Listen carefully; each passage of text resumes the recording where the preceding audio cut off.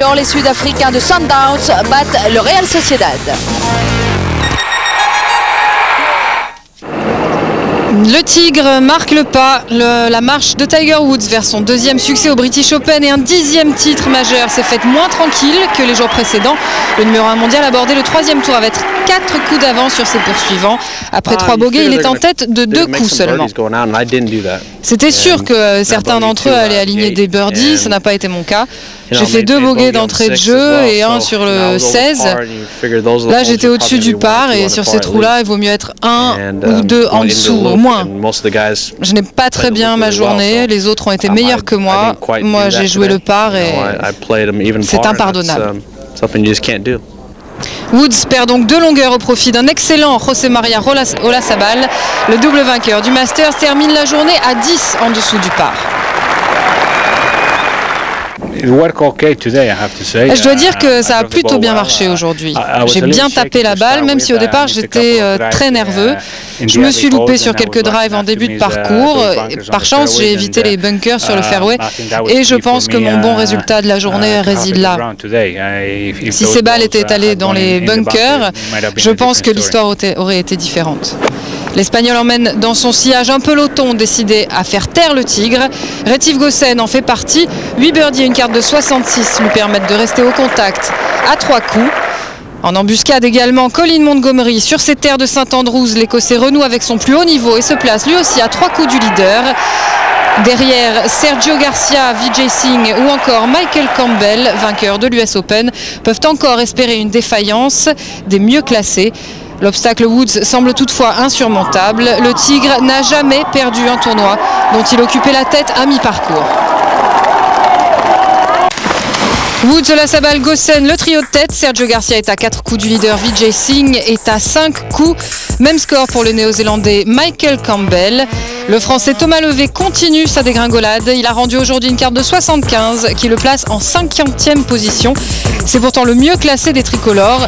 Petite consolation peut-être pour le français. Malgré sa piètre performance, il est tout de même devant le grand Ernie Els. Le Big Easy est dans le par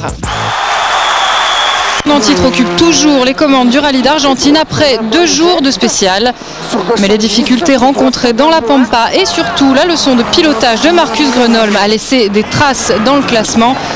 Au volant de sa Peugeot, le Finlandais qui s'est imposé ici en 2003 a réussi à revenir à 26 secondes du Français, grâce notamment à trois temps scratch dans la matinée. À plus d'une minute, on retrouve le Norvégien Peter Solberg, l'ancien champion du monde et le seul homme cette saison à avoir raflé sur Subaru deux victoires euh, sous l'écrasante domination de Sébastien Loeb et de Citroën. Un autre Finlandais, Tony Gerdmeister, ici à l'écran, place sa Ford à 2 minutes 46 du leader. Son compatriote Harry Rovanpera aborde le dernier jour en cinquième position.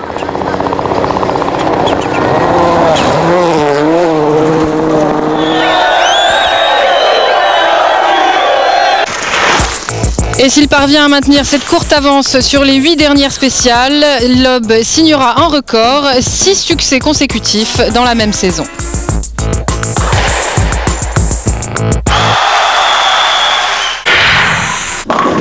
Un œil sur les quarts de finale de la Coupe Davis. Les Slovaques mènent désormais deux victoires à une face aux Pays-Bas. Même score pour l'Argentine sur l'Australie.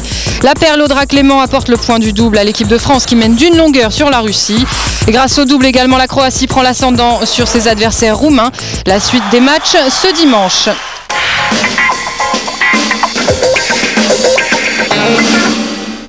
On passe au football avec la Peace Cup, tournoi d'avant-saison qui se déroule en Corée du Sud. Tottenham jouait contre Boca Junior. Beaucoup de buts dans cette rencontre. Boca ouvre la marque dès la deuxième minute. Delgado est à la finition. À la demi-heure de jeu, les Anglais euh, dominés reviennent dans la partie grâce à un superbe travail de Germaine Defoe. L'attaquant anglais parti aux 30 mètres égalise. Un partout puis 2-1 5 minutes plus tard. Mido, l'ancien Marseillais, donne l'avantage à l'équipe britannique. 2-1, c'est le score à la pause.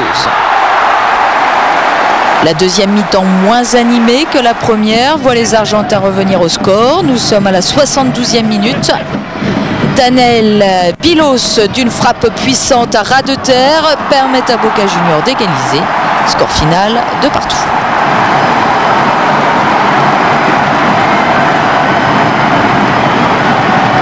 L'autre match opposait les Africains du Sud, Sundowns, aux Espagnols de la Real Sociedad. Les Espagnols un peu en dessous sont dominés dans cette rencontre.